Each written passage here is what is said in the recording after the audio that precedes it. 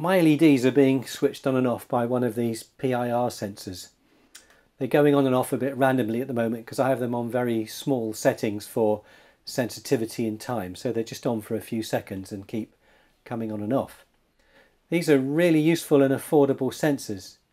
With just a few components you can use them to make a simple on or off switch which detects motion or if you connect them to a board like an Arduino or Raspberry Pi you can make a sophisticated system for switching on mains lighting, heating, alarms, maybe even gates or door openers, just about anything you can think of. Today I'm going to look at how to make a motion controlled lighting sensor using just a PIR sensor and a transistor. I'll go through the components needed for the circuit, how it works and how to connect it up and then I'll show a finished example. PIR sensors are usually supplied as a module. The sensor's on a board with a few other components and two trimmers to adjust the timing and sensitivity. The right side trimmer, or the one marked TX, adjusts the time that the sensor stays on, from a few seconds to about 5 minutes. After the on period has ended, there's a short break before the sensor resets and is ready to switch on again. The left side trimmer, or the one marked SX, adjusts sensitivity.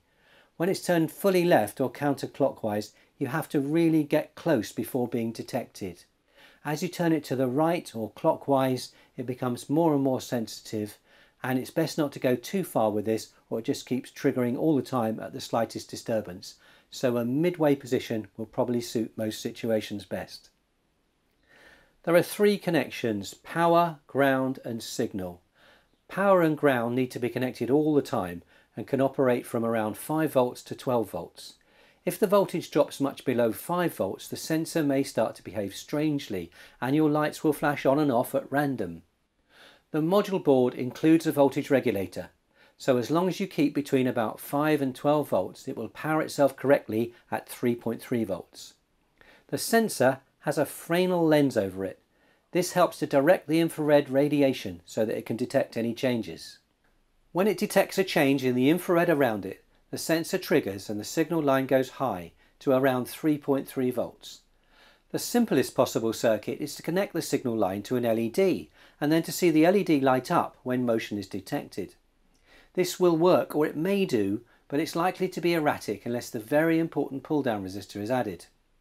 The signal line is high when it's triggered by motion and when there's no motion detected it should be low but this line can just float or be affected by interference of some kind, switching things on and off apparently randomly. A 10k resistor connected between the signal pin and ground will make sure that the voltage is kept low when it's not being triggered, making the circuit behave reliably. So, how can we use the sensor to control a larger project? 3.3 volts from a signal pin is not enough to power anything more than a single LED. The answer is to use a transistor as a switch. Applying a voltage to the base of the transistor allows current to pass between its collector and emitter.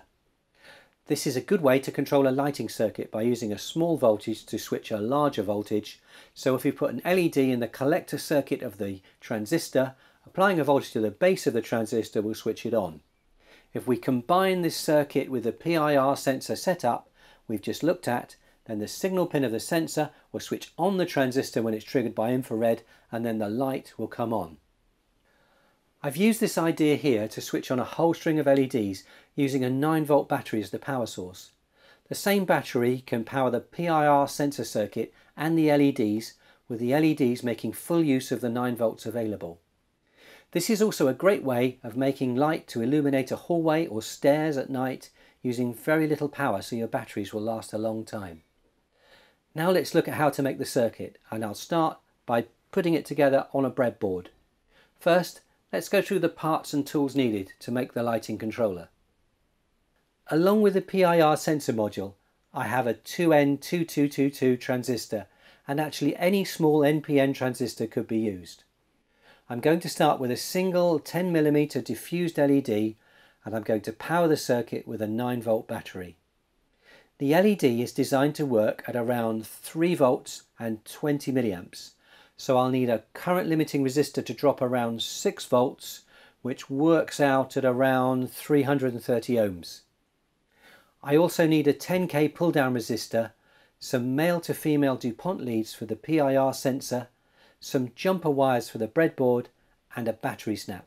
Later, I'll experiment with trying a fairly large capacitor to smooth out the switching on and off of the lights. Now let's start putting it all together. I'll start with the transistor and connect the emitter to ground. The current limiting resistor goes in line with the LED as it connects the collector of the transistor to the positive rail. Now I'll connect the PIR module voltage and ground connections and the signal line to the base of the transistor. The all-important pull-down resistor comes next between the signal wire and ground. All that's needed now is to connect the battery to the voltage and ground rails of the breadboard. When it's first switched on, the sensor takes a while to adjust to its surroundings and the LED flashes on and off a few times. After a minute or so this stabilises and when I approach the LED switches on. I've left it on its lowest sensitivity and pointing away from me to try it out. Some boards have a jumper which you can switch from H to L. H means re-triggering, so if you stay moving around the sensor, the light will stay on until you move away. L means single triggering, so once it's triggered the light will stay on for its set time and then go off again until a new motion is detected nearby.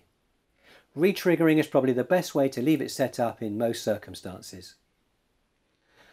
Now that we've seen this works very effectively, here's an idea to make a gentle nightlight effect.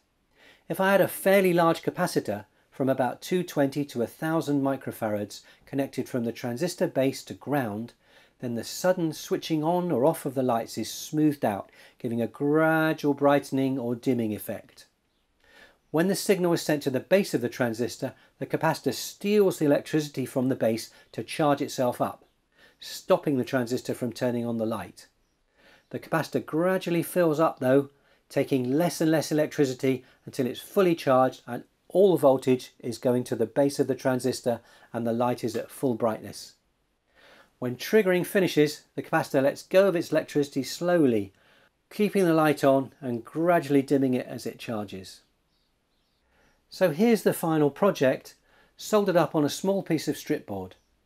This is now usable as a module to go inside a night light, for example, or in the circuit I have here to control some decorative LEDs. These only come on when someone is around, so the battery life is not wasted. It's really useful and practical.